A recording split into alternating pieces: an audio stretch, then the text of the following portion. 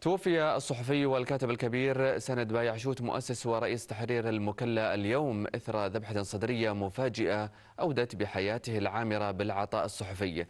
وكان الصحفي اليمني الحضرمي سند بايعشوت يعد من أبرز الصحفيين اليمنيين الذين تركوا بصمة واضحة على الساحة الإعلامية واليمنية.